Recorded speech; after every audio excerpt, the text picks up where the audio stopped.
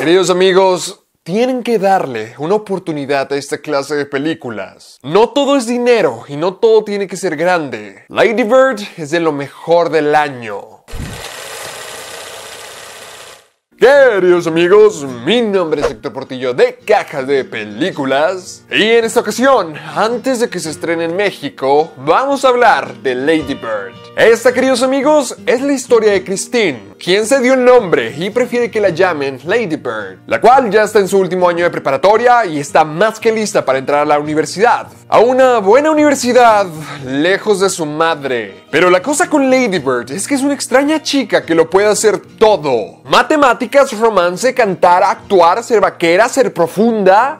Bueno, no lo puedo hacer todo, pero sí que lo intenta. Lady Bird solo está en busca de un lugar en la vida a donde pertenezca. Pero qué buena película. Cada día desde que vi Lady Bird hasta hoy he tenido el sentimiento de querer verla otra vez. Es una película extremadamente inteligente y graciosa. La actriz que ahora debuta como directora decidió poner a Lady Bird en el 2003 para poder capturar la esencia de los adolescentes, para no tener que filmarlos con la cara pegada al celular. Y todos estos personajes son increíbles. Son los personajes que más reales se sintieron en todo el año. La amiga, el novio, el hermano, el papá y la mamá. Las dinámicas entre familias sirven como una pequeña burla al núcleo familiar americano, pero al mismo tiempo es una imitación perfecta de este. Para todos los adultos y para aquellos que están a punto de serlo, podemos voltear a ver y nos vamos a topar con muchas de nuestras experiencias jóvenes en Lady Bird. La preparatoria es un lugar importante donde tratamos de descubrirnos. Y como Lady Bird intenta tantas cosas y llegamos a ver varias caras de su personalidad, no es raro sentirnos identificados con varios de los escenarios en donde Lady Bird se mete. Uno pensaría que es esa clásica película donde la chica rara se mete en el club de teatro y encuentra su lugar en el mundo, que es eso donde es buena. Pero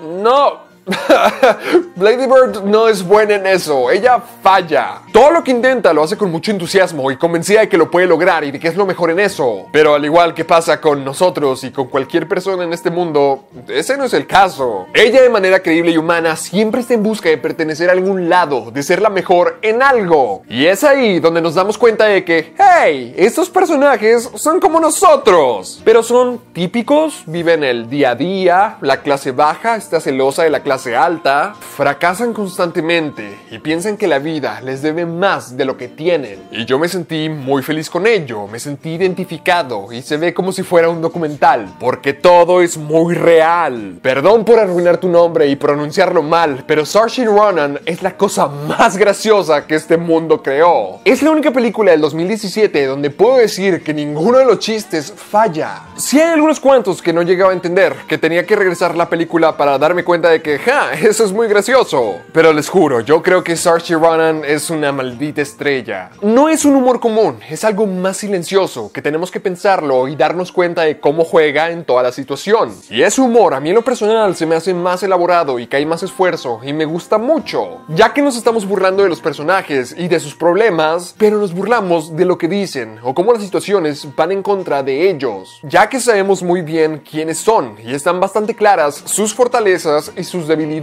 la película es acerca de Lady Bird, pero también es acerca de su mamá. Ya que esta relación es monstruosamente, horriblemente, terroríficamente real, me quedé congelado como algunas peleas, diálogo por diálogo, eran iguales a peleas que yo he tenido con mi madre. Incluso peleas que yo he visto que mis amigos tienen con sus madres. Pueden estar peleando feo, decirse cosas insultantes en un momento y un segundo después preguntarle a la otra si un vestido es bonito. Porque lo he visto, porque lo he sentido, porque todos lo hemos sentido. Una familia realmente funciona así. Cuando tenemos películas que lidian con adolescentes creciendo, los padres enojones son un simple bache que tenemos que saltar. Lady Bird, siendo tan realista como es, acepta que son parte de nosotros. Nos dice que el amor paternal es uno de los más complicados y que viene en muchas formas. Laurie Metcalf, como la mamá de Lady Bird, fue algo helante. Es igual igual que mi madre, y apuesto que igual a la tuya también. Mi único problema con Lady Bird es que esta hace tantas cosas y se mete en tantas historias que se relaciona mucho con varios personajes que tienen su propia historia, que comenzamos a la mitad de lo que ellos tienen que hacer. Podríamos verlo como si Lady Bird fuera el nuevo personaje o que estuviera haciendo un cameo en sus vidas, lo cual es también fabuloso. Pero algunas de estas historias con estos personajes extras se abren para contarnos más y nunca tienen resolución, solamente consiguen una escena y nunca volvemos a escuchar de ellos. De la misma manera, podrías llegar a sentir que Lady Bird utiliza varios de los tropos que las películas de adolescentes creciendo utilizan comúnmente, como el abandonar quién eres para conseguir popularidad,